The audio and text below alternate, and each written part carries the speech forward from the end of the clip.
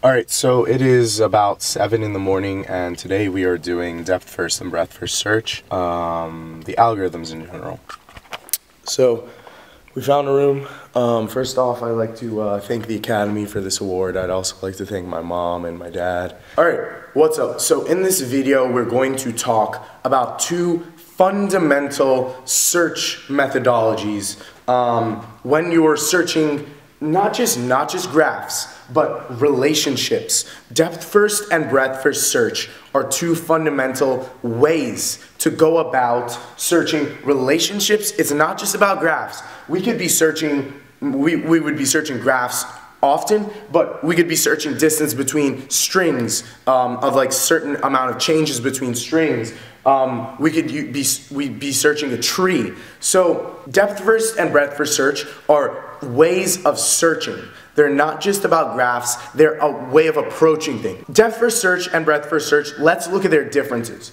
So, depth first search uses a stack. It either can be a stack that we create or it can be a stack that is the call stack where we use recursion. This is why depth first search can be done recursively. On the other hand, breadth first search is implemented iteratively with a queue. A queue has first in, first out. A stack has last in, first out. So for a stack, the last item to come in is the first one to come out. For a queue, the first item to have come in is going to be the first item to come out. It's just like a line, right? When do we use depth first search? When do do we use breadth first search? So we're going to use depth first search when we do things like backtracking, um, complete search, exhausting search possibilities, um, finding all the paths. Depth first search is about going deep. Depth first search goes deep. It goes deep into a path, explores all of it, and then comes back outwards, and then decides whether to go on to another path. So breadth first search is great to check if there's a path between two nodes. So say we start at F and we're looking for A. So if, if depth first search takes us all the way over here and then it goes all in there, then it's just going to get lost in its exhaustion of possibilities instead of saying, wait, a is right there. It was just it was just two steps out. This case is not as extreme. But depth first search is going to get you to go too deep and then you'll get lost. Breadth first is about going out layer by layer. So this is what breadth first search looks like. If we started at C, we're gonna explore here and then we're gonna explore one step out, two steps out. So breadth first search is all about going wide, slowly increasing the distance from our start node in giving us breadth instead of depth. Also, um, like I just showed you, breadth first search is good for finding levels away from something. This could be a tree. This doesn't have to be a graph. If we're trying to find how many levels something is away, like if we want to do a level order traversal of a tree, that's when breadth first search is our friend. So, like I said, breadth first search goes wide. It does not go deep. It, its priority is to go out level by level. Breadth first search priority is to go deep into its path, come back, go deep again, come back, and then go deep, right? So this is the difference between breadth first and depth first. So now let's look at their implementation. All right, so this is the code for depth first search. For this function, we are just passing in a node, our start node, and we're going to print every node in the graph using depth first search. So before we get into the code, just to address the time and space, so the time is going to be O of V plus E, um, where V is the vertices and E is the edges we're traversing. So you're going to see why it's V plus E when we look at the code, but we're going to be touching V vertices and then in each of the, but we're going to be iterating over vertices edges, which will add up to the E. And then um, we're also going to have a space complexity of O of V. Um, so the thing is for DFS with a stack, if we're doing a tree, and it's balanced, we're only going to have O of H complexity because we're only caring about the items we have on the stack on, at max. And if our tree is balanced, then we would only have at max the height of the tree in the stack. Um, if it was unbalanced, it'd be O of V or O of N, whatever you want to call the number of nodes. So it really depends on what data structure you're working with, but this is like a general, general statement. So here's the code for it. So basically, all that happens is you create a stack. You need a stack for this. Because of the last in, first out nature of the stack, the last item to come in is the first to come out. And then we need a seen hash set so we don't reprocess items and cause a cycle in our traversal. So we need a hash set. Hash set is just a set of unique items. So we will only process nodes that we haven't seen. First, we add the first node to the start. We begin our while loop and we continue while the stack is not empty, while we have items to iterate over and process. So we pull a node from our stack or queue. In this case, it's depth first search, so it's a stack. We pull an item from the stack. If it has not been seen, then we process that node. How do we process the node? We mark the node as seen, and then we do whatever work we want to do with that node. Um, whether it's printing it, in this case, we're just printing it, but we could abstract a function out and uh, do work with a function or something. So it could be many things. And then we need to continue the search. We've pulled a node, we've processed it, and now we need to continue searching. So then we go for each node that's adjacent to this node, then we see if it has not been seen, if it, the seen set does not contain it, then add that node to our search and continue the search. We're only going to do that if the node has not been seen. We're going to process if it's not been seen. So it's basically those three steps. Pull a node, process it, add its children. And the data structure enforces how we search. If it's a stack, it'll be depth first. If it's a queue, it'll be breadth first. So let's walk through an example here just to make things clear. So we'll start at node A. So let's add, add A. We add A to the stack. We're gonna pop A from the stack. And has A been seen? No, it has not been seen. Add it to the seen. Print it out.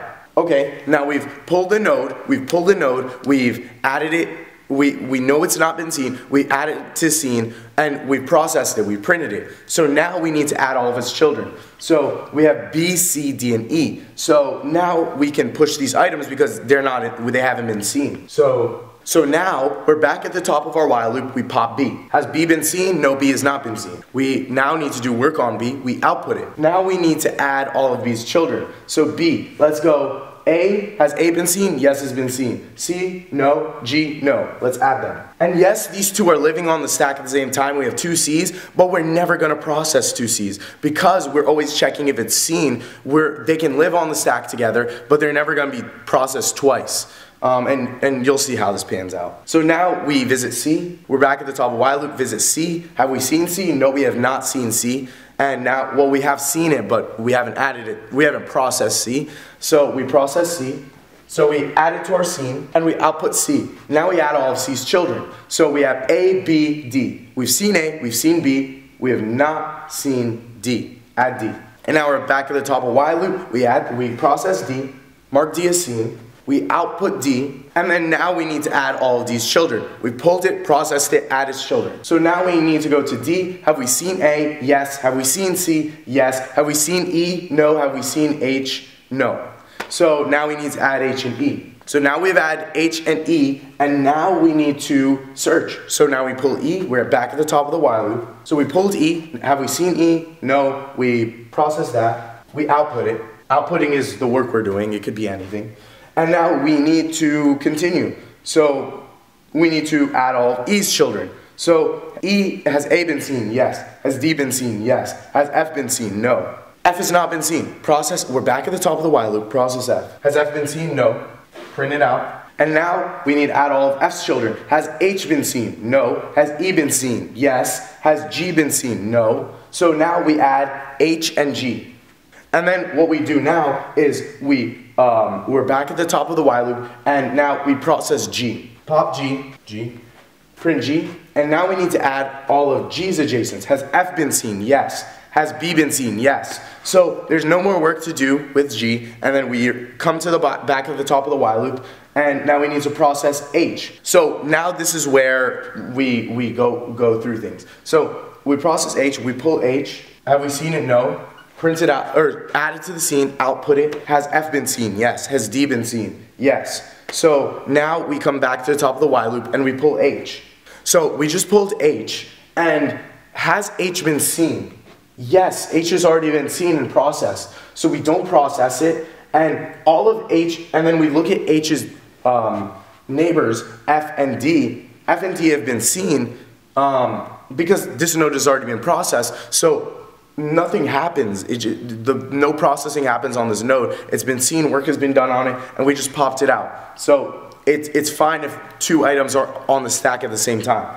So now G, now we have G on the stack, let's pop G. Same thing happens to G. G's already been seen, and if it's been seen, that means we've processed it. Nothing happens, none of its children get added. Um, if we look at G, uh, G, F, and P, both of its children are already processed. So we've already done what we could do with this node. So then it goes, it's been in the output. So now we process the next node. We're at the top of the while loop again, we're at C. So now, same thing happens to C, same thing happens to D, and same thing happens to E, and now our stack is empty and the search is finished. So all that changes between our breadth first printing of nodes and our um, depth first, or from our depth first to our breadth first, all that changes is the data structure we use. Instead, now we use a queue. So now we're going to use a queue, which has um, our, our first in, first out nature, where the first item that comes in is going to be the first that comes out, just like a line. And then we're gonna, we're still gonna have the seen hash set. We're gonna add the start node to our queue. We're gonna go while the queue is not empty. We're gonna pull, we're gonna, it's called pull for the Java API. Um, we're gonna pull the item from the queue. If it's not been seen, we process it. And then for each adjacent, then we're going to add it to the queue um, if it has not been seen. So it's basically the same thing, it's just we change our data structure. Let's do it with, let's do it on this graph. So we start with A and we add, we add A to the queue. So we're going to pull A from the queue. A has not been seen, so we're gonna process A. A has not been seen, we add it to the seen, we process A, and now we need to add um, each of each of A's kids. So now we go B, C, D, E. So we're going to add them to the queue. So we're going to add, so now we add them to the queue. So this is the front. So this is the front, this is the back. So now we've added all of the children and we're going to process B now. We're going to pull from the front of the queue. So now we're going to process B and now we're going to add it to the seen and we're going to output B. And now we add all of B's children that have not been seen. So G has not been seen, A has been seen, C. So we're going to add G and C to the back of the queue. So we add those to the back of the queue and now we keep going. We process C and now we add C, we output C,